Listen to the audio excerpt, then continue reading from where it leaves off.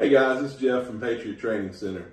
In this video, I'm going to give you a quick little review of the HK VP9 pistol. So the first thing we do when we take a gun down is we're going to clear it, right? So we need to remove the magazine, get rid of that ammunition source, set it to the side. We need to slide slide open to the rear and then physically and visually inspect that chamber. So um, once I do that, I've got the slide back to the rear. What I'm going to do is I'm going to turn this takedown lever straight down at that angle and I'm going to close the slide.